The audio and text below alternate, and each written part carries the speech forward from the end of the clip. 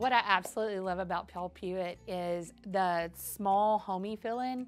I, I feel like the morale and culture of Pewitt is that we are family. When you came through the doors of Pewitt, it's like you were meant to be here because you have that sense of belonging. What I think makes Pewitt special is the sense of community that we have here. I tell people all the time, I said Paul Pewitt community has really been a blessing to me. You never feel like you're just one of many. You feel like you're part of a, of a family. This year, we're back at it and we're, you know, we're interacting so much more personally with the kids. I have 15 students in my class and each one of the students I'm able to connect with on a personal level. My students, I think I got the best students in the world. On the days where I might not be having a great day, they make me laugh. They're the reason I come to work every day.